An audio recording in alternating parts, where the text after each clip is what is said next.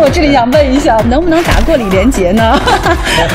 呃，我们一起在竞技赛赛场上比赛，我代表陕西队，他代表北京队，他也想拿冠军，我也想拿冠军。没错他的特点是动作潇洒，哎，动作大方。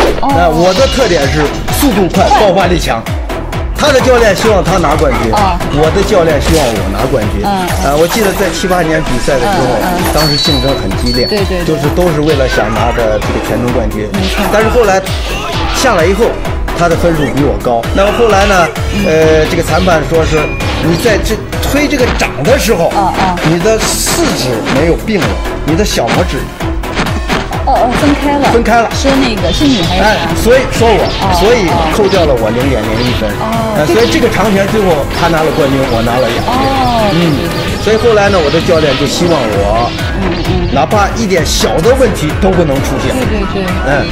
也希望你把这个小的问题也改了，你才能战胜他。